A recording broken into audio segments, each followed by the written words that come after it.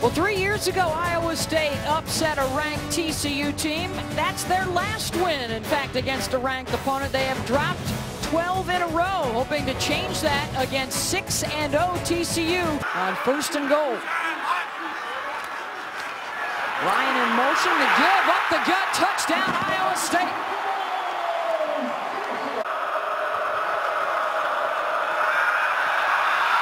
Looking for the fade to the corner. Doctson has the catch, touchdown, and a flag in the end zone.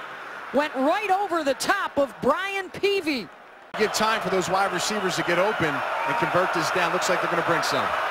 Doctson slotted right. Boykin will throw the other way. Listenbee in the end zone. He's got it. Touchdown TCU. What they need to do to go undefeated.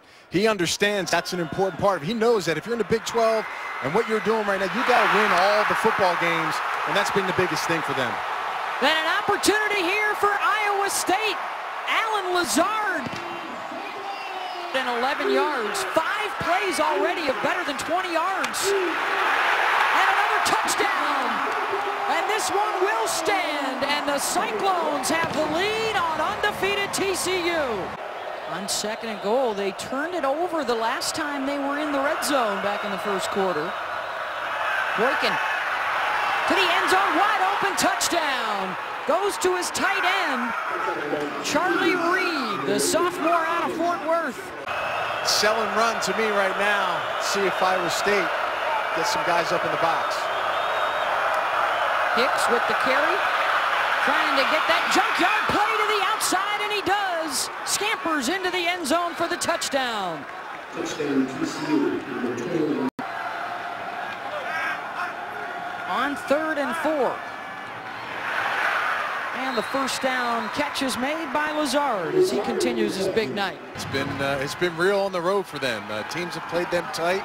They've done well at home, but it's been a challenge on the road so far. When you've got the sticker on your back that says you're number three and the number one in the conference, they're coming at you.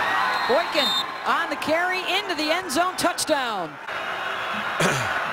And listen, that, that's definitely a call. And he's going to be up there. Obviously, Leonard Fournette is doing some things on the ground that's been incredible. But, uh, you know, right now, Trevone Boykin is, has been a great leader, a great player.